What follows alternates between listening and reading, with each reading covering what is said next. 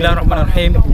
Ya, tempat yang kita berdiri sekarang adalah tempat tanah tinggi di mana tempat dahulunya ditawan dan didiami oleh tentera-tentera Israel lanatullah tempat ini.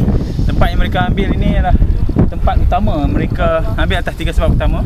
Yang pertama ialah mereka mengatakan bahawa tempat ini adalah mereka, tanah kembali mereka.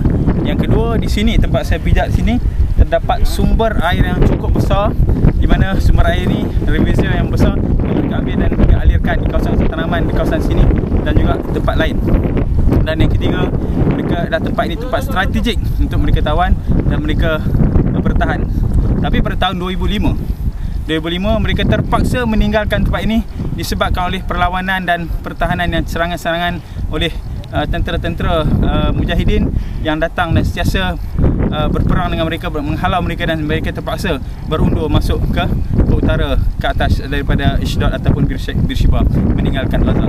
Inilah kekuatan yang ada pada tentera-tentera Gaza sehingga mereka mampu menghalau uh, tentera yang paling canggih di dunia sedangkan tentera uh, uh, Gaza sendiri tidak mempunyai satu tank pun, tidak ada satu pesawat tentera pun tapi dengan menggunakan ke kekuatan keimanan mereka dan perjuangan mereka mempertahankan mengambilkan mengambil tanah barakah ini.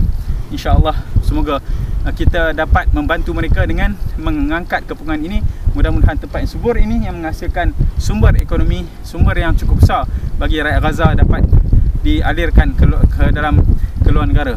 Seperti mana yang dibuat oleh Israel mereka menjual barang-barang hasil daripada ter, uh, apa, tanaman di sini ekspor hingga ke Eropah dan ke Timur Tengah sekian wassalamualaikum warahmatullahi wabarakatuh